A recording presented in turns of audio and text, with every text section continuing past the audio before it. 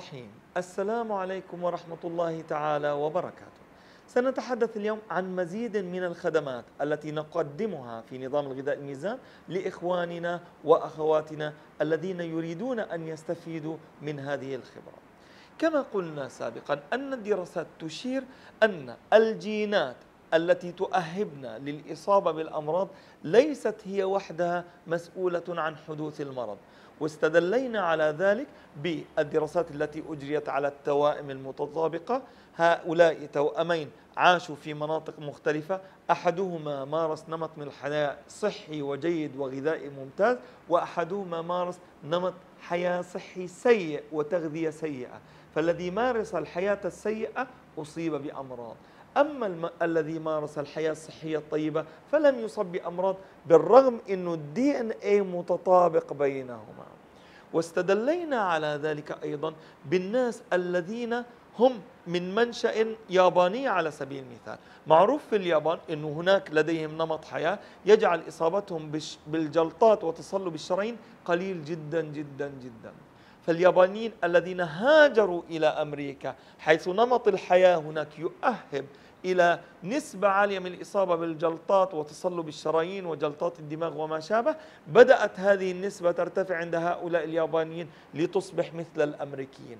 مما يدل على أن نمط الحياة هو الأهم في تحديث في تحديد حدوث الأمراض ولذلك نحن نعمل عندما تتواصلون معنا ننصحكم. ويكون ذلك على شكل برنامج متواصل لمد لمدة ست شهور. يعني يتواصل الشخص يقول طيب أنا عندي مثلا تصلب في الشرايين ماذا أفعل؟ أول شيء ننصحه بمنتجات غذائية صحية عليها دراسات أثبتت أنها فعالة وتساعده وليس واحدا إنما عدة أنواع. نحن نريد أن نغير نمط حياته. ننصحه كيف يأخذ الطعام بترتيب معين بكيفية معينة بتوقيت معين. فحتى التوقيت له دور في التأثير على التعبير على الجينات.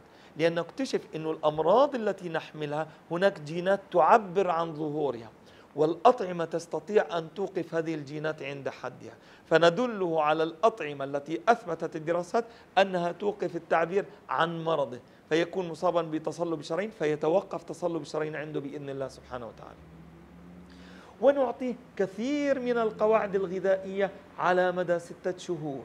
يعني كلما اتصل فينا ويجد بشكل تلقائي مجرد ما عمل سبسكرايب أو سجل لأول مرة وهو مهتم بهذا الموضوع سيجد سلسلة وموسوعة ضخمة من المعلومات الموثقة علميا والمعروضة بأجمل شكل وبأبسط شكل تصله تباعا بإذن الله إلى أن يصبح يغير نمط حياته تدريجيا ويحصل على حياة أفضل بإذن الله سبحانه وتعالى. ببساطة نستطيع أن نساعدكم ونقدم لكم معلومات تفيد الأشخاص من عمر سنة حتى عمر مئة سنة بإذن الله سبحانه وتعالى.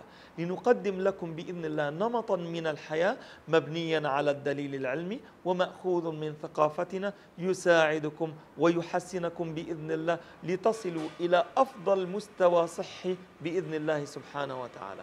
نسأل الله تعالى أن يقبل منكم صالح الأعمال وأن يجعل عملنا مخلصا لوجهه سبحانه وتعالى وأن يفيدنا فيما علمنا.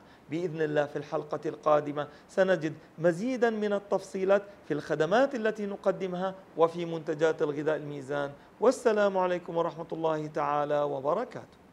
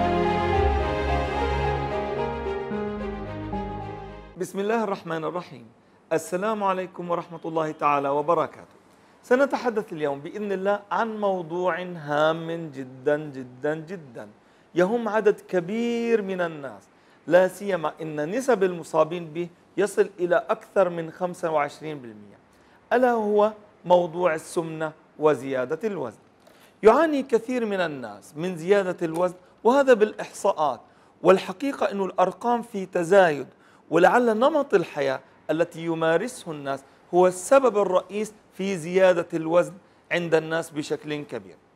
طبعا ليست هذه هي المشكلة الوحيدة لأنه كثير من النساء بالذات عندما يأتونني يقولون دكتور أنا ما عندي زيادة وزن ولكن أنا عندي سوء في توزيع الدهون في جسمي. يعني أنا مثلا عندنا منطقة الحوض هي المنطقة اللي فيها دهون أكثر مثلا أو منطقة الأكتاف والرقبة هي التي فيها دهون أكثر. ومن ثم نحن هنا في نظام الغذاء الميزان وحسب أسس علم التغذية في القرآن وحسب نظرية العناصر في الحقيقة نتدخل بشكل يعيد التوازن بشكل ممتاز وبشكل يجعل طول الإنسان الطبيعي متعادل مع وزنه بإذن الله سبحانه وتعالى. أولا نحن في نظام الغذاء الميزان لا نعتبر أنه كثرة تناول الكربوهيدرات والبروتينات والدهون هي السبب الرئيسي في حدوث زيادة الوزن وأنا أعطيكم أدلة على ذلك. ممكن أنت ببساطة ترى رجلا نحيلا جدا يعني نحيل حتى ممكن أنت تحزن عليه تقول يا حرام ضعيف زيادة عن اللزوم. ولكن عندما تضع أمامه طعاما حتى لو وضعت خروفا محشيا كاملا يأكله كاملا. ولو وضعت كل يوم أمامه خروفا محشيا يأكله كاملا. ومع ذلك يبقى نحيل. وتجد شخص آخر مسكين الميزان أمامه يضع 30 جرام و50 جرام وربع رغيف صغير ونصف صغير نصف رغيف كبير ومع ذلك الوزن فيه زيادة. إذا ما المشكلة؟ أنا أعتقد أنه ليست كمية الكربوهيدرات والبروتينات والدهون هي السبب الرئيسي في هذه المشكلة. إنما النظام الاستقلابي يعني نسميه بالعامية نظام الحرق. هذا الرجل النحيل الذي يأكل خروف نظام الحرق ما شاء الله عنده شغال مئة بالمئة. فكل الجزيئات الكيميائية الموجودة في هذا الخروف المحشي عندما يأكلها ببساطة سيقوم جسمه بحرقها وتوليدها وتحويلها إلى طاقة. ولذلك تراه نشيطا وحيويا وما شاء الله عنه عنده طاقة ممتازة وعالية جدا. ليش؟ لأنه سبحان الله ما يأكله يتحول إلى طاقة. الشخص الآخر نظام الاستقلاب عنده ضعيف جدا. وما دام نظام الاستقلاب ضعيف مهما أكل حتى لو كميات قليلة جدا تجد سبحان الله أنها تخزن في جسمه. وتجد هذا الشخص الذي نظامه الاستقلابي أو نظام الحرق ضعيف عنده خامل وتعبان ويعاني دائما من الإرهاق وعدم وجود الطاقة وعدم وجود الحيوية ببساطة لأنه ما يأكله يخزن. السؤال الهام هنا نحن نعرف أن الله سبحانه وتعالى خلق الجسم على شكل قيادات بعضها فوق بعض. ويقود الجسم في الحقيقة جهازين الجهاز العصبي والجهاز الهرموني. ونحن نرى في نظام الغذاء الميزان أن النظام الهرموني هو النظام الذي يسيطر على الاستقلال ولذلك إذا تلاحظون أي خلل هرموني بسيط يترافق مع واحد خلل في الوزن اثنين خلل في الشهية ثلاثة خلل في توزيع الدهون. ولأنه كل هرمون من الهرمونات يقوم بوظائف مختلفة في توزيع الدهون وفتح الشهية إلى آخره. ولذلك قصور بسيط في الغدة الدرقية نجد أنه الوزن زاد. واحد مثلا عنده ربو آه سبحان الله يأخذ هرمون الكورتيزون نجد أنه وزنه زاد. مريض السكري نشاهد مريض السكري نحيل وضعيف وهزيل. سبحان الله نزيد له جرعة هرمون الأنسولين فنلاحظ أنه شهيته انفتحت ووزنه زاد. ما تذهب بعيدا؟ الحامل. الحامل ممكن أن تزيد حتى 20 كيلو. طب يا ربي هذا الطفل أو الجنين في أحشائها ثلاثة أو أربعة كيلو. هناك 16 أو 17 كيلو زيادة. من أين جاءت؟ نعم هناك عضو جديد اسمه المشيمة يفرز كمية كبيرة من الهرمونات. هذه الهرمونات تؤثر على الشهية. تشوف الحامل أنه بيزيد عندها أعراض لوحام إما تحب بعض الأكلات وتنفتح شهيتها على بعض الأكلات أو بالعكس تصد شهيتها عن بعض الأكلات وبصير عندها غثيان وقياء وأعراض الوحام المعروفة. سبحان الله. ولذلك أي تغير هرموني بسيط يترافق عادة مع خلل في الوزن.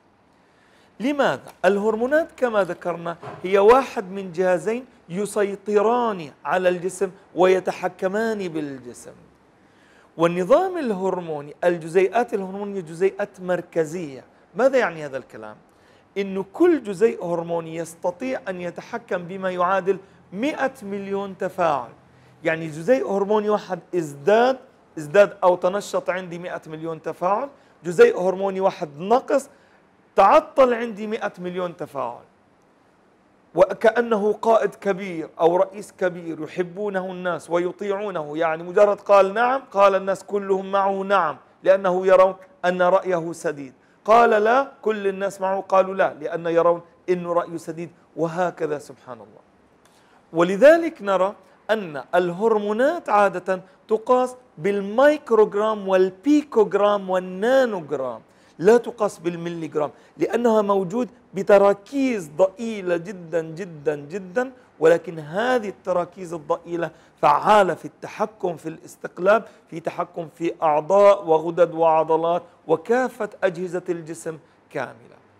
بعض الناس يقول لي يا دكتور أنا والله ذهبت إلى الطبيب وهو بالفعل شك أنه عندي مثلا قصور في الغدة الكظرية ده أديسون أو قصور في الغدة الدرقية مثل الالتهابات الدرقية هاشيموتو أو القصور العادي. أو شك أنه عندي مثلا أنا اضطراب في أي هرمون من الهرمونات أو بعض النساء اضطرابات هرمونية على مستوى المبيض وهكذا. وفحص كل الهرمونات وجد كل شيء طبيعي ومع ذلك أنا وزني زائد. أقول نعم لا يكفي حدوث ارتفاع أو انخفاض في الهرمون. أحيانا حسب نظام الغذاء الميزان نحن نعتبر أن الهرمون يكون غير, غير فعال بالرغم أنه موجود بتركيز طبيعي في الجسم. متى يكون ذلك؟ إحنا نعرف انه كل الهرمونات عبارة عن دورة. عند المرأة اسمها الدورة الشهرية. الحمل دورته تسعة أشهر بالتمام والكمال. سبحان الله. عندنا الأنسولين دورته 24 ساعة. الكورتيزول اللي هو هرمون الغدة الكظرية وهناك فرق بين الكورتيزول والكورتيزون بالنون. الكورتيزول هو هو الهرمون الطبيعي الذي يفرز من الجسم في حين أن الكورتيزون هو المادة الصناعية التي يصنعها الإنسان والذي تشبه الهرمون الطبيعي في الجسم. وسبحان الله آه، هناك أيضا هذا الكورتيزون دورته 24 ساعة أعلى قمة في إفرازه صباحا أقل قمة مساء. هناك هرمونات تفرز من تحت المهاد مثل هرمون gonadotropin releasing hormone. دورته 90 دقيقة فقط يعني خلال 90 دقيقة يصل إلى أقصى قمة وأقل قاع ثم في التسعين دقيقة اللي بعدها يصل إلى قمة وقع نحن نعتبر في نظام الغذاء الميزان أن هناك كثير من العادات الغذائية السيئة وهناك كثير من نمط الحياة السيء يؤثر على فعالية الهرمونات. يعني يجعل الهرمونات لا تصل لأقصى قمة وأقل قاع بل يجعلها تصل إلى نصف القمة أو نصف القاع مما يعطيها نصف المفعول مثلا أو تصل إلى ربع القمة وربع القاع مما يعطيها ربع المفعول وهكذا. ولذلك سبحان الله من هذه العادات السهر المتأخر يعني السهر في الليل وعدم النوم في الليل أو النوم في آخر الليل والصحو متأخرا في النهار. نحن نرى أن هذا من الأشياء الذي يخل بالساعة البيولوجية ويخل بفعالية الهرمونات أن تصل إلى أقصى قمة وأقل قاع ليس هذا فقط. خلل أوقات تناول الطعام. نحن نعتقد أنه يعتبر سبب رئيسي في حدوث هذا الخلل. خلل في الساعة البيولوجية. وخلل في فعالية الهرمونات بأن تصل إلى أقصى قمة وأقل قاع وفي الحقيقة أن تخصصي في الطب البديل كان يعني رسالة الماجستير كانت في جامعة ويستمنستر في بريطانيا متعلقة بهذا الموضوع. أنا عملت دراسة نوع من أنواع الدراسات تعرف باسم systematic review المراجعة المنظمة الشاملة. نمسك موضوعا ونجمع كل الدراسات التي أجريت عليه ونحلله بطريقة منظمة يعني كيف أجريت الدراسة عدد الناس التي أجريت عليها السامبل. طبعا في كل الدراسات كيف حدثت النتائج تحليل النتائج الاستنتاج إلى آخره. طبعا بعد هذه الدراسة أنا فوجئت حقيقة وهذا متوافق مع أسس علم التغذية في القرآن بأنه كم هي أهمية الوقت توقيت الطعام مهمة في ضبط الوزن في الجسم بشكل رائع وممتاز. هناك دراسة على سبيل المثال أجريت في الجيش الأمريكي. طبعا كان الهدف من هذه الدراسة أنه بده يشوفوا تأثير مثلا توقيت الطعام لأنه هذا جندي في المعركة. قد يعني لا يصح له أن يأكل في الليل أو قد لا يأكل إلا في الليل قد يأكل في النهار. يعني هو في ظروف حرب. ومن ثم هم بدأوا يضعوا الجنود في ظروف صعبة من أجل أن يحاول أن يعرفوا يعني إيش الخلل بيحدث عنه كانت التجربة قسموا الجنود إلى مجموعتين. المجموعتين يعطيهم وجبة واحدة في اليوم ظروف حرب. الوجبة فيها 2000 سعر حراري. ولكن مجموعة طلبوا منهم أن يأكلوا هذه الوجبة كاملة في الثامنة صباحا. والمجموعة الثانية طلبوا منهم أن يأكلوها تقريبا في المساء ربما كان في السادسة مساء حسب ما أذكر. ماذا كانت النتيجة؟ فوجئوا أن المجموعة التي أكلت في الصباح وزنهم نزل وكان عندهم قراءات السكري أفضل قراءات الكوليسترول أفضل قراءات الدهنيات الثلاثية أفضل الكريات البيضاء أفضل الكريات الحمراء أفضل. كل شيء تقريبا من حيث المقاييس التي قاسوها كان أفضل. فقط مجرد أكل الوجبة في الصباح.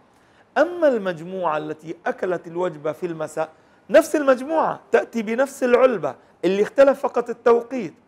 المجموعة التي أكلت في المساء ازداد وزنه وازداد مشعرات وقراءات كل من السكري والكوليسترول والدهنيات الثلاثية وهكذا. ولذلك بدأ العلماء يستدلون أنه بالفعل توقيت الطعام يعتبر مهما جدا في التأثير على النظام الهرموني ومن ثم على النظام الاستقلابي ومن ثم على زيادة الوزن أو نقصانه بشكل كبير وواضح. أيضا هناك دراسة أجريت هذه الدراسة أجريت على مجموعتين من الناس. أعطوا ثلاث وجبات وجبة الفطور ووجبة العشاء متطابقة تماما من حيث النوع ومن حيث الكمية. طيب ما هو الخلاف؟ الخلاف كان فقط في وجبة الغداء. طلبوا من مجموعة من الناس أن تأخذ وجبة الغداء قبل الساعة الثالثة ظهرا أو عصرا والمجموعة الثانية أن تأخذ وجبة الغداء بعد الساعة الثالثة عصرا. سبحان الله أيضا كانت النتائج مذهلة. المجموعة الذين أخذوا الوجبة قبل الساعة الثالثة نقص وزنهم. كان مشعرات السكري والكوليسترول والدهنيات الثلاثية لديهم أفضل. في حين أن المجموعة التي أخذت بعد الساعة الثالثة سبحان الله كان عندهم مشعرات التغذية يعني كلها السكري أعلى آه، الكوليسترول أعلى الدهنيات الثلاثية أعلى مما يدل على حدوث خلل في النظام الاستقلابي ولذلك نحن تنبهنا إلى قاعدة ذكرها الله سبحانه وتعالى في القرآن ووجدنا أنها رائعة جدا في تنظيم النظام الهرموني وتنظيم المستوى الاستقلابي على أعلى مستوى ممكن. يقول الله سبحانه وتعالى في هذه القاعدة يا بني آدم خذوا زينتكم عند كل مسجد وكلوا واشربوا ولا تسرفوا إنه لا يحب المسرفين. نحن نعرف أن المسلمين يصلون خمس صلوات تمام؟ ومن ثم الآية تشير إلى وجود خمس وجبات خفيفة ولا تسرفوا مرتبطة مع أوقات الصلاة. وذلك نحن ننصح الناس الذين يريدون سبحان الله تنزيل أوزانهم أن يأكلوا ثلاث وجبات رئيسية. في الحقيقة إحنا نجعلها ست وجبات. كيف ست وجبات؟ نحن نعرف أنه بين الفجر والظهر هناك مسافة طويلة. يعني في أيام الصيف تصل إلى ثمان إلى تسع ساعات. ممكن أن يجوع الإنسان. فننصح الإنسان عند صلاة الضحى وهي سنة مؤكدة أن يأخذ وجبة في هذا الوقت فيصبح عنده ست وجبات. ونقول له احرص أن تكون وج الوجبة الأولى عند شروق الشمس يعني بعد الفجر مباشرة. طب من أين أحضرنا الوقت عند شروق الشمس؟ أيضا في أسس علم التغذية الإسلامي. الرسول صلى الله عليه وسلم يقول من تصبح بسبع تمرات عجوة لم يصبه سم ولا سحر. التصبح لغة يعني الناس تقول الساعة التاسعة صباحا أو العاشرة صباحا. نقول يا أخي خطأ في اللغة العربية لا نقول هكذا. الساعة التاسعة ضحى أو الساعة العاشرة في الضحى. أما الإصباح حسب تعريف اللغة العربية فهو اللحظة من لحظة شروق الشمس إلى عشرين دقيقة إلى ما بعد الشروق. قدرها العلماء مقدار ارتفاع الشمس الشمس بمقدار الرمح يعني 20 أو 22 دقيقة. بعدها العرب لا يقولون أصبح يقولون أضحى. والقرآن الكريم سبحانه وتعالى أشار إلى ذلك. الله سبحانه وتعالى يقول آه، في فأخذتهم الصيحة مصبحين. والقرآن العظيم سبحان الله يشير إلى ذلك. فالله سبحانه وتعالى يقول فأخذتهم الصيحة مشرقين. وفي آية أخرى يقول فقضينا إليه ذلك الأمر أن دابر هؤلاء مقطوع مصبحين. مشرقين مصبحين. إذا حدد هنا أن الوجبة المثالية التي تأتي بعد الصلاة يجب أن تكون سبحان الله في وقت شروق الشمس. وسبحان الله عندنا حديث آخر يؤيد هذا المعنى. الرسول صلى الله عليه وسلم يقول من صلى الغداة في جماعة ثم جلس يذكر الله حتى تطلع الشمس ثم صلى ركعتين كانت له كأجر حجة وعمرة تامة تامة تامة. ولذلك إحنا نلاحظ أن النظام الإسلامي ينظم وقتك. تصحو في الفجر تصلي ركعتي سنة الفجر ثم الفريضة لسه لم يظهر النهار ما زال الدنيا ليل. تجلس تذكر الله حتى تطلع الشمس. تصلي ركعتين وبعدها مباشرة عند لحظة الشروق تبدأ بالأكل. فإذا هذه الوجبة الأولى. وننصح أن تكون الوجبة الرئيسية وجبة كبيرة. الوجبة الثانية أنصح أن تكون عند صلاة الظهر وليس عند العصر. معظم الناس يتغذى عند العصر. لماذا؟ ذكرنا الدراسة التي كانت تتحدث قبل الساعة الثالثة وبعد الساعة الثالثة. لا إحنا عند صلاة الظهر عادة صلاة الظهر في معظم البلدان هي قبل الساعة الثالثة. فهذا بإذن الله يساعدني بشكل كبير وممتاز في تخفيض الوزن. والوجبة الثالثة الرئيسية ننصح ننصحهم فيها أن تكون عند المغرب. لاحظوا وجبات الفجر والضحى آه، عفوا والظهر والمغرب هي نفس الأوقات الذي كان أجدادنا يعني سبحان الله يأكلون فيها. أنا أذكر جدي رحمة الله عليه جدي هذا يعني لم يكن يصلي العشاء لا يستطيع أن يسهر في الصيف للعشاء فينام بعد المغرب مباشرة. يصحو قبل الفجر بساعتين. يصلي العشاء وقيام الليل ويبدأ سبحان الله يصلي الفجر. بعد ذلك يأتي جوعان صار له ثلاث ساعات في عبادة سبحان الله. فيأتي جوعان فيطلب الطعام في هذا الوقت عند شروق الشمس. وكان سبحان الله أهلنا حتى في دول الخليج يقولون عند عند القايلة يعني في وقت القيلولة أو وقت استواء الشمس في وسط السماء في كبد السماء. عند الظهر يعودون سبحان الله من أعمالهم. والنظام الإسلامي نظام رائع. يعني إحنا الآن وهذه نقطة كثير من الناس لا ينتبه عليها. الله سبحانه وتعالى والرسول صلى الله عليه وسلم في الدعاء يقول اللهم بارك لأمتي في بكورها. ولذلك النظام الإسلامي يقول لك صل الفجر ثم يعني تشرق الشمس تأكل فطورك ثم تخرج إلى عملك. سبحان الله. ففي الصيف عندنا تسع ساعات بين الفجر والظهر. يعني يكون الإنسان قضى يوما كاملا ثمان ساعات أو تسع ساعات. عند صلاة الظهر خلاص المفروض انتهى يومه. ويبقى يومه كاملا حيويا. يعني في أي لحظة هو الآن ما زال عنده من عند الظهر حتى المساء. يعني أراد أن يكمل دراسته أراد أن يجلس مع أولاده يعلمهم. يعني يبقى عنده وقت.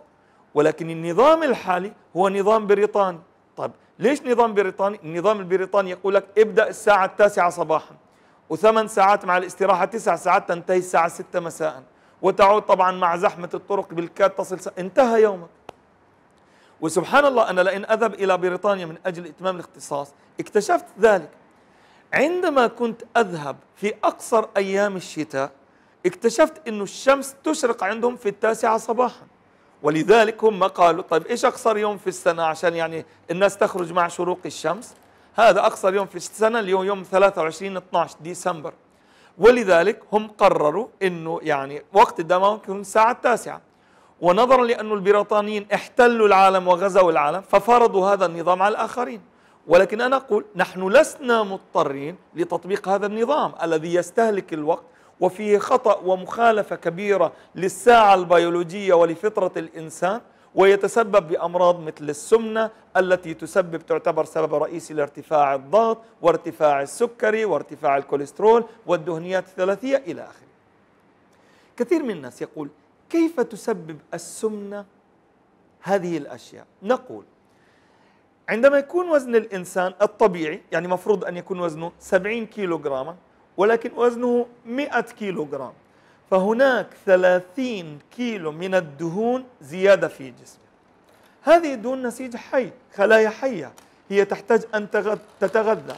ولذلك من رحمة الله سبحانه وتعالى أنه يخلق شرايين إضافية تنتشر في هذا النسيج الدهني ومن ثم يصبح لدى هذا الإنسان 30% شرايين زيادة عن المعدل الطبيعي. هذه الشرايين الزيادة ستزيد مساحة سطح الاحتكاك بين الدم والكريات الحمراء وجدار هذه الشرايين الزائدة. ومن ثم ستزداد المقاومة الوعائية المحيطية. وازدياد المقاومة الوعائية المحيطية سيؤدي ببساطة إلى ارتفاع الضغط الدموي الشرياني ولذلك كان مرض السمنة يترافق مع زيادة في الضغط الدموي الشرياني. وإذا كثير من الناس البدينين يأتونني يقول دكتور أنا عندي ضغط أعطيني مجموعة الضغط. فيفاجأ أنني أعطيه مجموعة تنزيل الوزن. فيقول لماذا أنا ما عندي يعني آه، أنا المشكلة عندي في الضغط؟ ما بدي أنزل وزني. أقول لا يا أخي يجب أن تنزل وزنك حتى هذه الدهون الزائدة تزول وتختفي وعندما تختفي تختفي معها الشرايين الزائدة. بذلك تقول المقاومة الوعائية المحيطية وينخفض الضغط الدموي الشرياني دون أن تأخذ أدوية. بنفس الطريقة زيادة كمية الدهون في داخل الجسم سيؤدي إلى نقص حساسية مستقبلات الأنسولين للأنسولين. كثير من المرضى البدينين عندهم ارتفاع في السكر أو قراءات السكر على الحد الأعلى من الحد الطبيعي أو عندهم يعني آه، سكر تراكمي مرتفع. لماذا؟ عندهم أنسولين وأنسولين كفاية وربما أنسولين أكثر من اللازم أو أكثر من الناس الآخرين. ولكن زيادة الدهون والدهنيات الثلاثية المخزنة تحت الجلد سيؤدي بدوره إلى نقص حساسية مستقبلات الأنسولين للأنسولين فيصبح الأنسولين غير فعال مثل مفتاح ولديه قفل ولكن هذا القفل فيه صدأ أو خرب. المفتاح يدخل في القفل يحاول أن يفتح أول مرة ثانية يعني بصعوبة لا يستطيع مرة يفتح ومرات لا يفتح. ومن ثم يبقى السكر مرتفعا في دمهم. بنفس الطريقة. نحرص بشكل كبير على تنزيل وزنهم ونزول وزنهم وفقدان هذه الدهون سيحسن من حساسية مستقبلات الأنسولين للأنسولين. وبإذن الله سبحانه وتعالى نحصل على نتائج طيبة وقراءة طيبة. وأنا أعرف عدد كبير من الناس مجرد ما نزلنا وزنهم ذهب منهم الضغط وذهب منهم السكري. طيب كيف نفعل؟ نحن قلنا نريد أن نفعل فعالية الهرمونات. يعني نريد أن نجعل الهرمونات تصل إلى أقصى قمة وأقل قاع. قلنا نطبق القاعدة القرآنية. يا بني آدم خذوا زينتكم عند كل مسجد. طيب وكلوا واشربوا ولا تسرفوا. طيب ولذلك إحنا نربط هذا بأوقات صلاة. وقلنا لدينا ست وجبات. ثلاث وجبات رئيسية الفجر والظهر والمغرب.